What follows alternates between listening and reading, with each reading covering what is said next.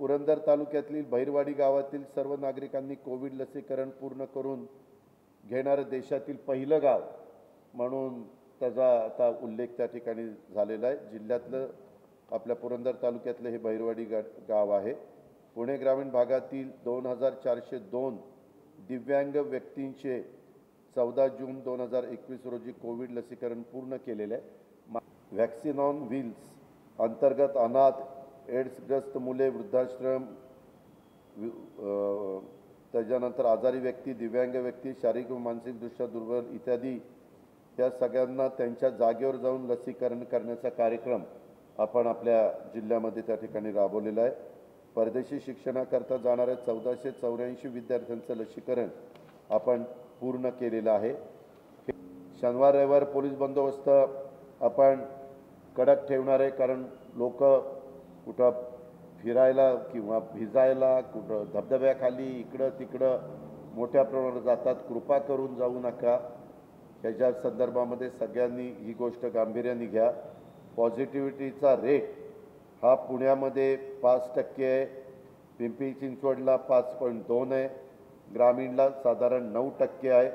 त्याच्याहून ग्रामीण आम्ही लेवल चारमध्येच ठेवलेलं आहे. आणि पिंपरी चिंचवड पाचच्या पुढं आहे त्याच्यामुळे ते लेवल तीनमध्ये ठेवलेलं आहे. आणि हे आपलं पाच असल्यामुळं पुण्याला पा लेवल टूमध्ये ठेवलेलं आहे. माझी तमाम नागरिकांना आव्हान आहे विनंती आहे की बाबा अनावश्यक प्रवास त्यांनी टाळावा.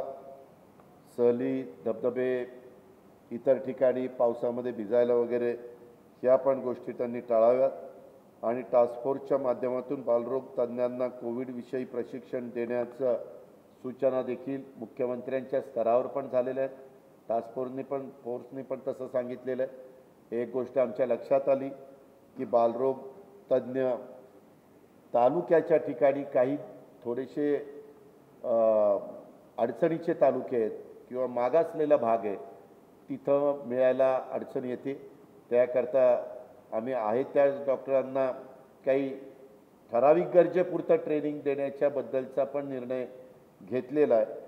जेणेकरून नंतर येऊच नाही तिसरी लाट पण यदा कदाचित सगळ्यांनी नियमाचं पालन नाही केलं तर आली तर आपण अशा प्रकारची काळजी घेण्याचं राज्यामध्ये पण आपलं नियोजन चालू आहे आणि आज आपल्या जिल्ह्याच्या संदर्भामध्ये देखील दोन्ही कॉर्पोरेशन आणि आमचा पुणे जिल्हा त्याचा आढावा घेत असताना ह्या सगळ्या बाबी पुढं आलेल्या आहेत.